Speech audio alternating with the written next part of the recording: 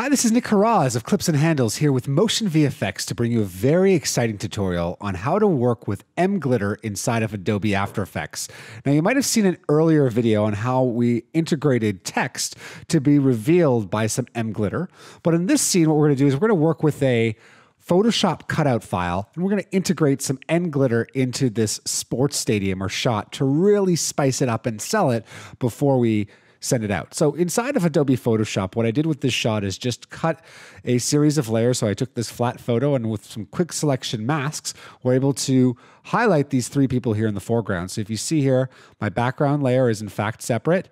I've got a layer just here for one guy who's tooting his horn, another, the lady over here, and the main guy just here in the middle. First of all, I like to separate these in 3D space a little bit. So what I'm going to do is here in the 3D cube file, I'm going to click and make all of these files 3D. Layer one, I'm going to hit P for position. And the first thing I want to move it forward. I like to work in whole numbers to uh, keep everything nice and easy to remember. So I'll make this one negative 1100. You can see that that jumps forward. I'm going to hit S for scale to scale it back down.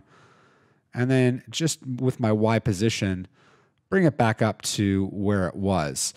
Next, I'm going to take the second layer here and let's make another nice even number, negative 600. I'm going to hit Shift S for scale. We really don't want to show the part of uh, her behind there. So I'll quickly just take this file that I've brought down in size. Last, I'll just select the last file, hit P for position, and we'll just remember this is going to be negative 400. So we've got something at negative 400. I'll hit Shift S for scale. And let's scale it back down to have it in the original place over here. Perfect. So I've got a couple mGlitter effects that I'd like to combine. I've got this lovely falling mGlitter that you can see here. So I'll just move my playhead over that clip. And I really want to capture it from probably from about this point on. So I'm going to hit the option left square bracket to make an endpoint on this first falling mGlitter. The second one is a falling to. You can sort of see this effect take place. It's just some other glitter that falls in the scene. I'm also going to hit Option left square bracket to make an endpoint in it halfway through the clip. So let's take the first mGlitter falling and just drop it here in the timeline. Once we start to work in 3D, what matters most is the Z position. So I want to make it 3D. You can see already there that uh, it's positioned in space behind all of the subjects that we moved into a negative number. And I want this glitter to fall over my first two subjects. So I'm going to hit P for position. And then I'm going to make this negative 750. So keep in mind now that it's basically just the man here is in front. But if we play around with the blend mode of this clip, to change it to screen. If it's too strong, we can hit T for opacity, and I'll just bring that down to 50%.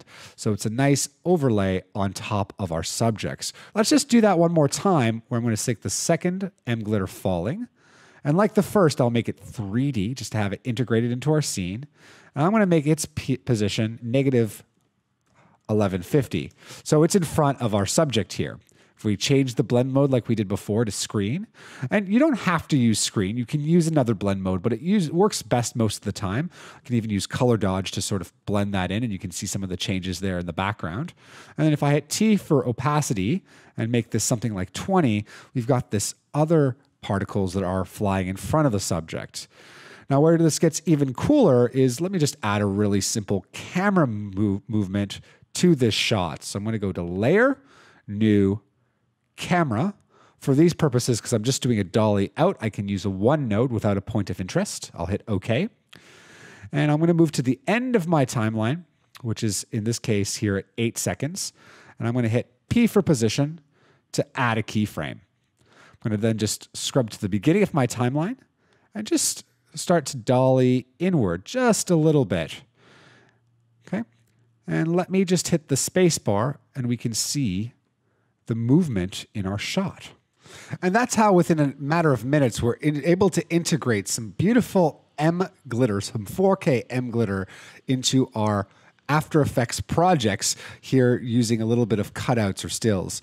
And if we wanted to take this a step further, you know, you can slow down the footage as you see fit or keep it as it is, add some blur effects and some lights, and you're well on your way to applying mGlitter as well as some of the other practical VFX such as mDust into all of your Adobe After Effects projects. Once again, I'm Nick Harauz from Clips and Handles. Thanks for listening and check out some of my other videos on the Motion VFX website.